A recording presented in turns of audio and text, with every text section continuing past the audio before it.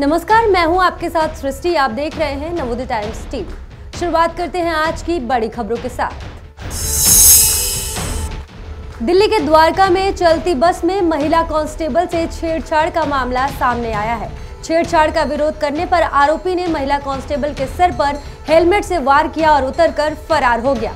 फ़िलहाल महिला कांस्टेबल को गंभीर चोटें आई हैं, अस्पताल में उसका इलाज चल रहा है और पुलिस इस मामले की छानबीन कर रही है। कृषि कानूनों के विरोध में दिल्ली की सीमाओं पर डटे किसान गर्मी से दो दो हाथ कर रहे हैं। गर्मी से निपटने के लिए किसान पंखा कूलर का इंतज़ाम तो कर ही रहे हैं, साथ ही पक्के टेंट भी बना रहे हैं। मौसम के बदलाव को देखते हुए किसान इससे निपटने के लिए हर तैयारी कर रहे हैं।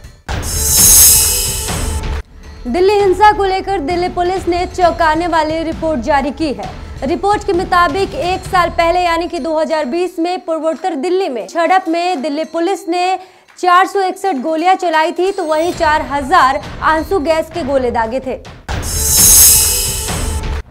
दिल्ली में एक बार फिर से कोरोना का ग्राफ बढ़ने लगा है। पिछले 24 घंटे में 100 से ज़्यादा केस सामने आए हैं तो वहीं केस बढ़ने से एक्टिव मरीजों की संख्या 1700 को पार कर गई है।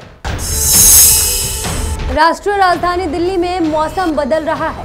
सात मार्च से वेस्टर्न डिस्टरबेंस की वजह से सीज़न की पहली आंधी और हल्की बूंदाबांदी हो सकती है। इस दौरान मौसम विभाग ने कहा है कि तापमान 30 से 31 डिग्री तक बने रहने की संभावना है। फ़िलहाल के लिए सिर्फ़ इतना ही। बाकी की देश दुनिया की तमाम बड़ी खबरों के लिए देखते रहिए नवोदय टाइम्स टीवी। हमें दीजिए इजाज़त।